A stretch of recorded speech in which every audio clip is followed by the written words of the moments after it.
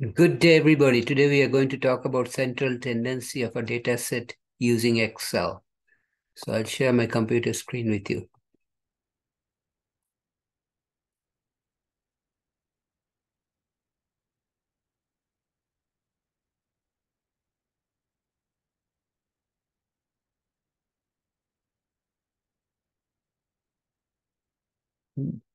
The profit, it should be profit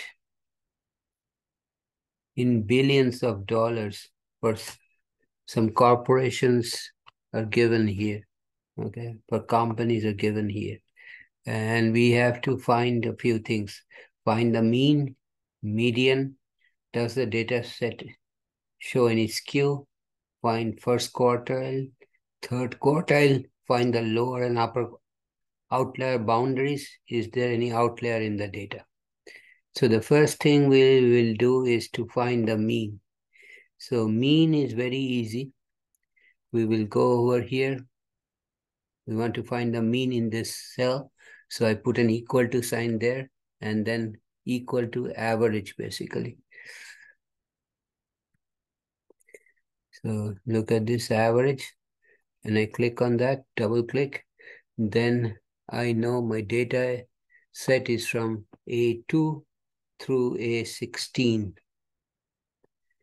And I close the parenthesis and hit enter.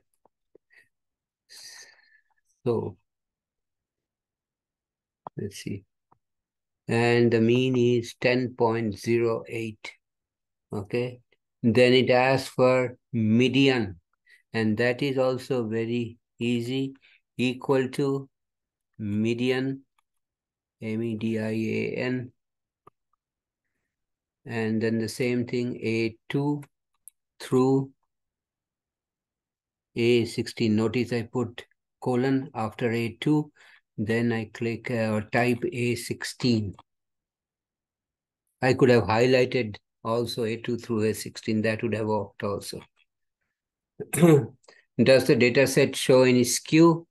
Here, the mean is, uh, so we can write mean is uh, slightly higher than the median, is slightly higher than the median. Median, therefore, slight skew to the right. Skew to the right. Okay. Next question they asked find Q1. This is also very easy. We'll write equal to Q quarter quartile. Okay. And notice under quartile, it says array and then quarter. Okay, so we want to find the first quartile. My array is from A2 through, so I put a colon, A16, then comma, then I put one for the first quartile and close the parenthesis and hit enter, 2.25. Then it says find the third quartile. So again, quartile, then A2 colon A16 comma and we want to find the third quartile, so number three. So this is your uh, Q3, 14.93. So IQR, IQR or interquartile range, interquartile range is equal to Q3 minus Q1. Okay, Q3 minus Q1.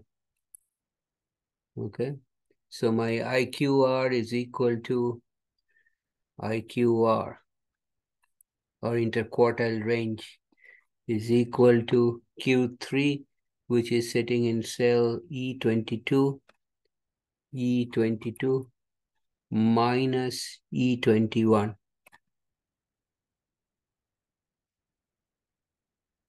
And interquartile range is 12.7. So next I will calculate uh, 1.5 times IQR. QR. I can do that calculation over here. I'll do the calculation 1.5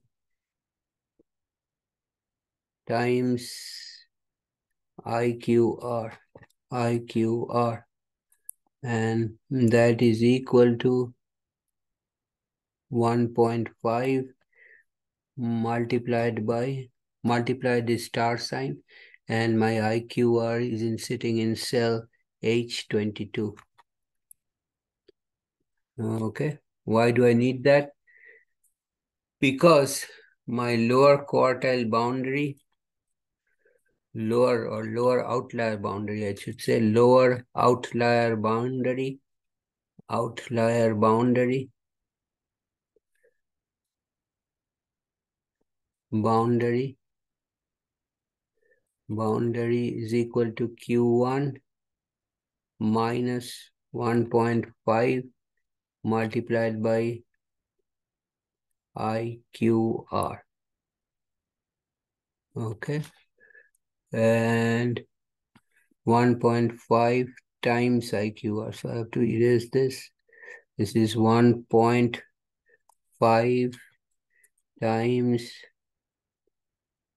IQR, IQR. Okay.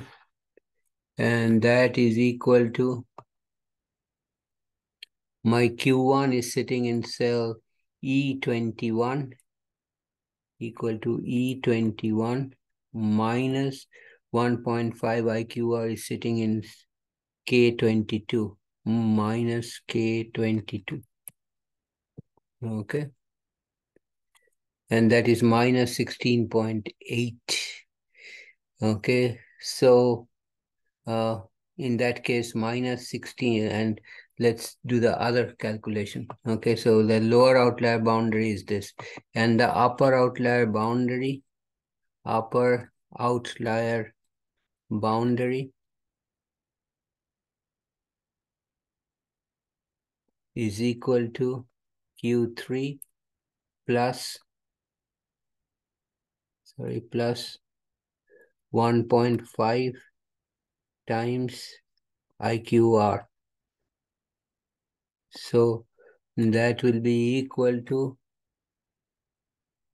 my Q3 is sitting in cell E22 equal to E22 plus, okay, plus my 1.5 IQR is sitting in cell K22. And that is 34. Okay. So the question is, is there any number? Is there any number number smaller than minus 16 point, uh, minus 16.8 minus 16 point minus 16.8 answer is the question mark and yes minus 16.9 minus 16, yes, minus, sorry, minus 16.9 is an outlier. Outlier on the left. And is there any number greater than 34? Is there any number greater than 34? Than 34 in the data set. And let's take a look at the data set. Any number greater than 34? Yes, 41.1. Yes. So yes, 41.1. 41.1 is an outlier on the on the right. On the right.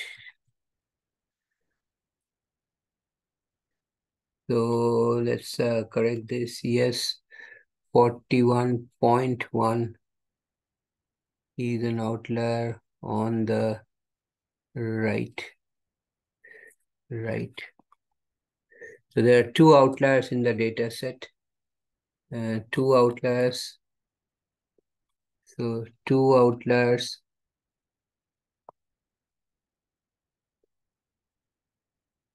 two outliers outliers two outliers minus 16.9 and 41.1.